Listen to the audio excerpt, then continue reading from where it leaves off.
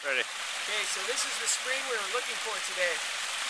This is called Sawmill Springs, and we found it. I found it on Zion National Park's um, website, and this is how I'm finding springs. I'm, you know, just looking on websites of national parks, and then looking for the GPS coordinates and just hiking to it and finding it. And we're actually finding many other springs in the meantime. We found a lot of the major springs up this canyon, and they're just dotted and riddled up the canyon. So I just wanted to share with you guys this today and this hike. And, and if you want to find springs near you, check out findaspring.com.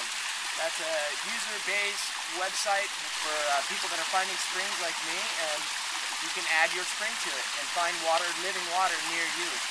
Get a little TDS meter for 40 bucks online and just start having fun.